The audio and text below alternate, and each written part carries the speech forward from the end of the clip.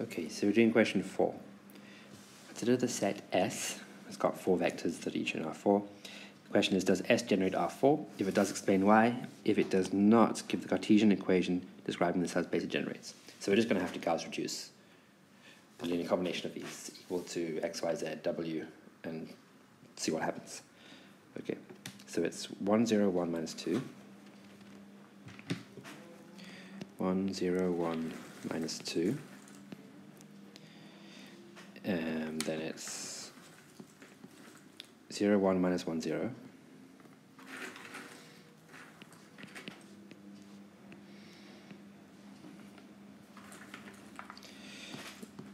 Then it's 3, 1, 3 minus 3.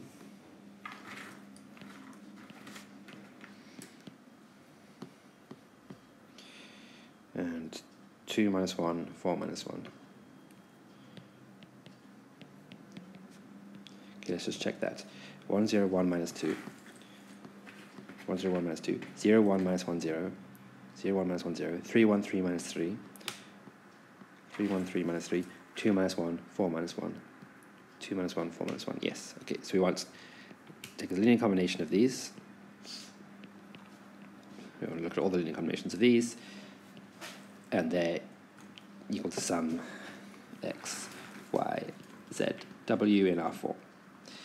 Okay, um, oh, this is question 4.1, right? So this, of course, can be converted into a matrix equation.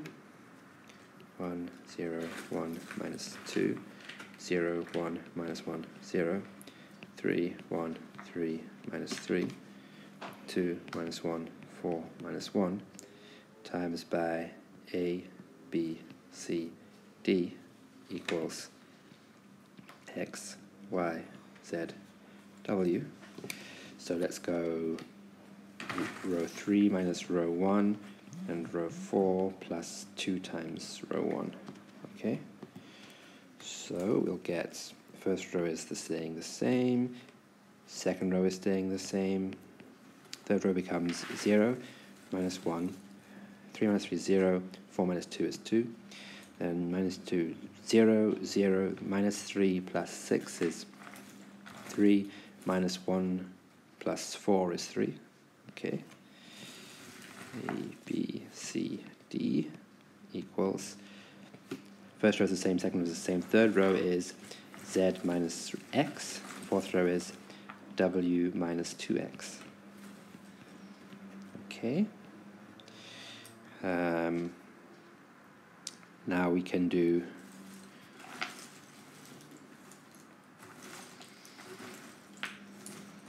let me do yes we can do row 3 plus row 2 in fact actually no. Let me rather do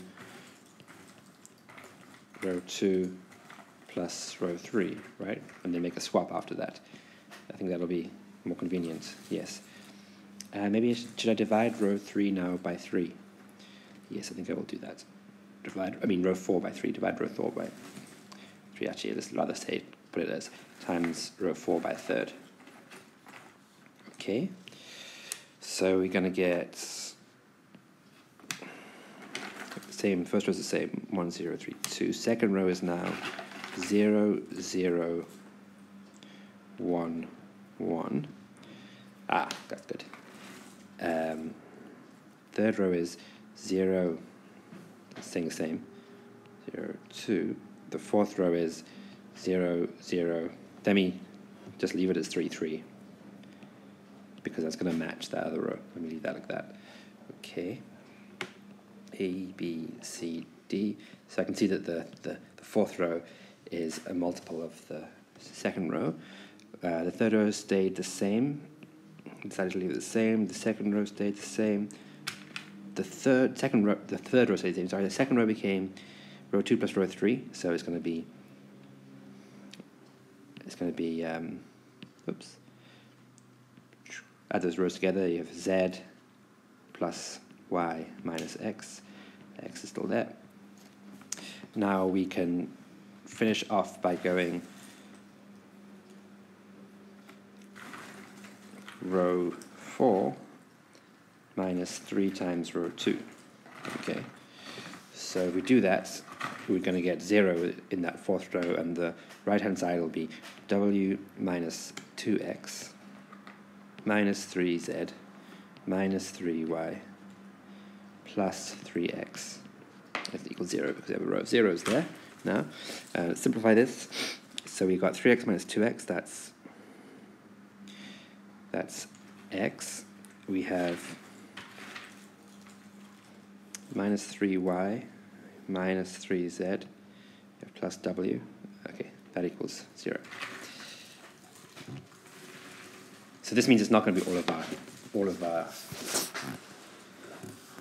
all of, all of our R4, right? It's going to be the subspace in which things of that is true. What is the actual question? Give the Cartesian equation described in this it generates. So there we have. Okay. What was the set called? The set was called S, right? Okay, so what we're saying is that the set generated by S, it's all those vectors in R4 such that, ah, let me change it, x1 minus 3 x2 minus 3x3 plus x4 equals 0. Okay.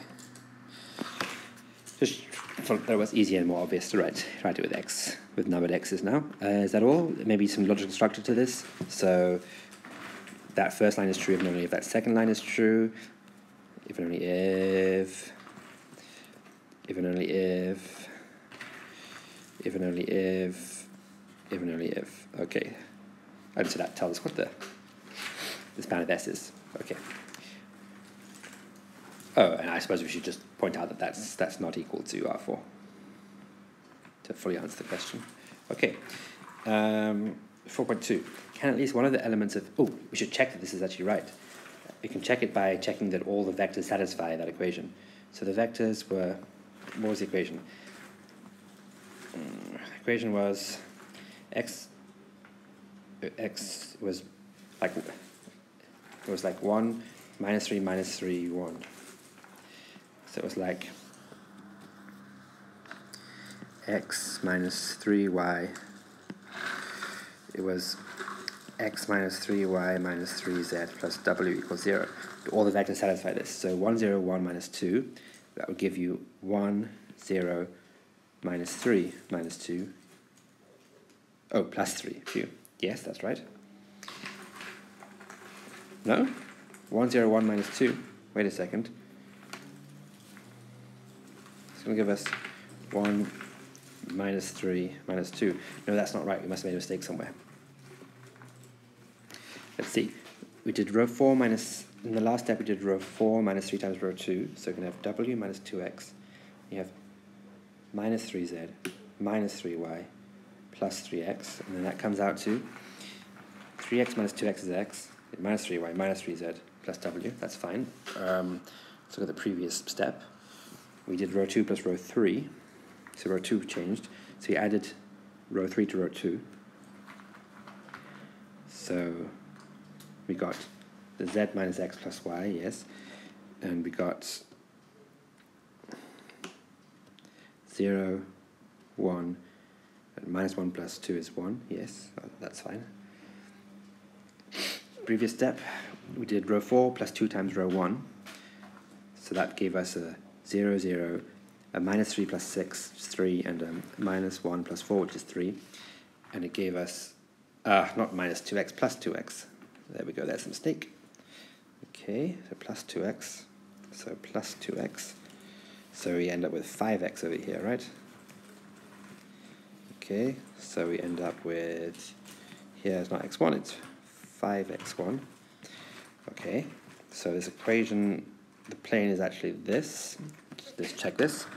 So first vector is 1, 0, 1, minus 2, so you get 5, 0, minus 3, minus 2. Yes, that's, that's, that's 0. Next one is 0, minus 3, plus 3. Yes, that's 0. Next one is 15 minus 3 minus 9 minus 3. Yes, that's 0. And finally we have 10 plus 6 minus 12 minus 1. Huh? No. 10, 10 plus 3 minus 12 minus 1. Yes, that's 0. Okay, cool. So the vectors all satisfy that, that equation of that plane, so this is, our answer is correct. The next question, 4.2. Can at least one of the elements of S be expressed as a linear combination of others? If one can be expressed as they do so, if none can explain why. So the answer is definitely yes, because it's a it's got four vectors in it, but it only makes a three-dimensional subspace of the four-dimensional R4. To do the expression, we need to go and do some Gauss reduction, right? Well, we could expect, we'll just use, use our Gauss reduction that, we, that we've already done. So we got up to to uh, here. Let's yeah, let's put down where we got up to. So noting 4.2. So so from 4.1 how am I going to write this? From 4.1, basically, if you have a linear, the linear combination, right? Plus b times 0, 1 minus 1, 0, plus c times 3, 1, 3 minus 3, plus d times 2 minus 1, 4 minus 1, now setting that equal to 0, and then, you know, we do some, oh, it becomes a, it becomes a, a, a matrix equation, like before, but now with zeros on the right, and then we do this Gauss reduction, and we end up here with what? Um, 1032 at the top. One's, oh. 1032 uh, and it's times by a, b, c, d as usual. And there'll be a 0 there. 1032 at the top, and then 0011. 0011, and then 0 minus 1, 0, 2. 0 minus 1, 0, 2. And then we were about to get rid of that, that third row. Become, that third row was going to become the zeros. So we can just do that already. Okay, so this, this is like this because we did in 4.1. Okay, uh, now we should continue finish with Gauss reduction. Um, so what can we do? We've got a pivot, pivot there, pivot there. Okay, let's start with row 1 minus 3 times row 2. Okay, that's going to get us 1, 0, 0, minus 1. And then we're still going to have the, just do a swap as well. Let's swap row, let's swap row 2 and row 3. So we can have 0, oh, and let's also at the same time, let's times row 3 by a negative. Okay. 0 minus 2, 0, 0, 1, 1, 0, 0, 0, 0. Okay, that, that's got reduced now, actually. Okay.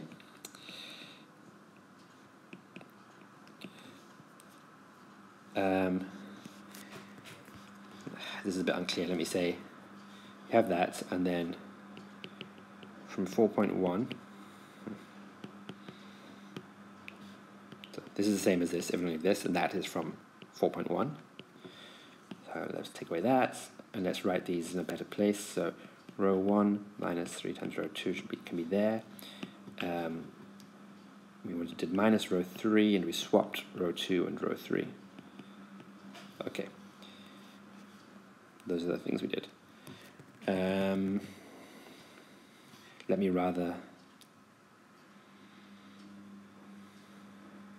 You know what? It's a bit confusing. Let me rather put the, the, the fact that we used a minus row 3 and put it there.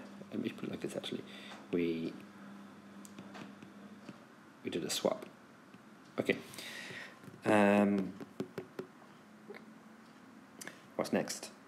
Ah, we have this thing now, so we can write down the solutions for a, what A, B, C, and D are.